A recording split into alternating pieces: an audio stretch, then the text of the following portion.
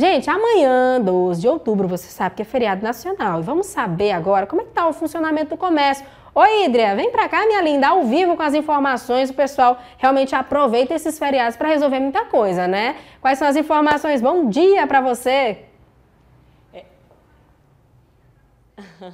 é verdade, viu, Tracy? Um bom dia para você, para quem está acompanhando o Piauí no ar nessa manhã bonita de sexta-feira. Sextou, né, Tracy? E amanhã é feriado para muita gente, né? mas para os lojistas, não. É isso mesmo, o comércio deverá funcionar normalmente, amanhã que é dia das crianças e também é dia de Nossa Senhora Aparecida, né? Feriado nacional. E para falar um pouquinho aí sobre essa questão do funcionamento das lojas amanhã, nós já estamos ao lado do seu Tertulino, Tertulino Passos, ele que é presidente do Sim de Lojas. Primeiramente, um bom dia para o senhor. Então, como deverá ser o funcionamento, de fato, do comércio amanhã, no feriado do Dia das Crianças e de Nossa Senhora Aparecida? Bom dia. Na realidade, amanhã nós temos um, um, dia de trabalho normal, né? Então, todas as lojas de rua e lojas de shopping têm o seu funcionamento normal, é, num turno, né? Nas lojas de rua, normalmente elas ficam num turno de seis horas, então amanhã não vai ser diferente, já está definida na convenção coletiva.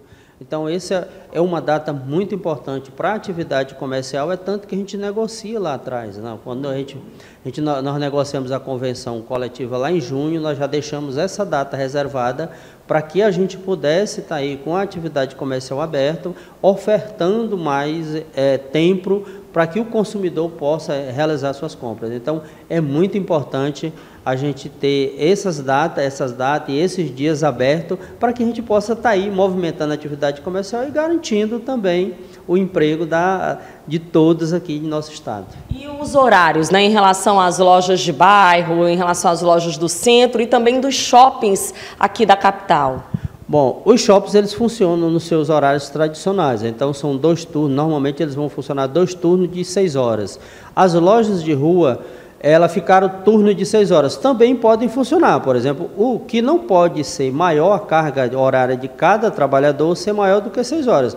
Mas se tiver uma loja dizer, não, eu vou funcionar 12 horas, então ele faz dois turnos de seis horas com pessoas diferentes ali trabalhando. O, o, o trabalhador é que ele não pode ter mais do que um turno de seis horas.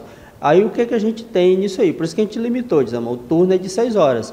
Ele pode, se ele tiver demanda, ele tiver pessoas entrando na loja, estiver circulando, então ele vai e pode deixar a loja aberta mais tempo com pessoas diferentes daqueles que trabalharam às seis horas. Bom, seu Tertulino, e qual é a expectativa para essa movimentação amanhã?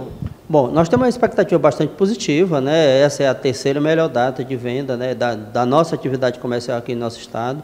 Então, a gente, a, a gente acredita muito num crescimento entre 8% e 10% em relação ao ano passado, até porque a gente já vem sentindo desde o início da semana, desde o início do mês, aquela movimentação maior é, dentro das atividades comerciais. E como esse, essa data é uma data muito importante, diferente, por exemplo, a titia compra, o tio compra, a vovó compra, o vovô compra, então todos compram, não é só o pai e a mãe. Então é a família inteira que compra o presente da criança. Então, por conta disso aí é que a gente tem toda essa expectativa de crescimento, né? É uma expectativa de crescimento até para poder você ter uma noção de como vai ser até o final do ano, né? Inclusive todo essa esse planejamento de, libera, de, disposição de vagas temporários, de acúmulo de vendas, todo até o final do ano, todo ele é baseado normalmente no Dia das Crianças. Tá certo. A gente quer agradecer então a participação do seu Tertulino Passos, ele que é presidente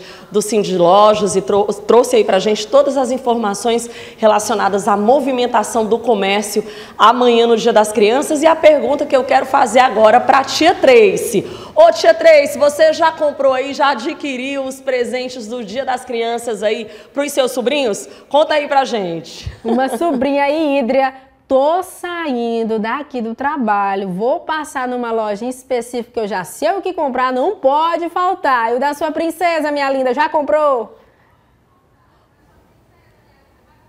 Já comprei, já adquiri aí o presentinho dela, é surpresa, viu, Três? Maravilha, Hidra. Obrigada, minha linda. Um beijo pra ela, viu? A gente se empolga, né? Maravilha. O nosso Piauí no ar pra você.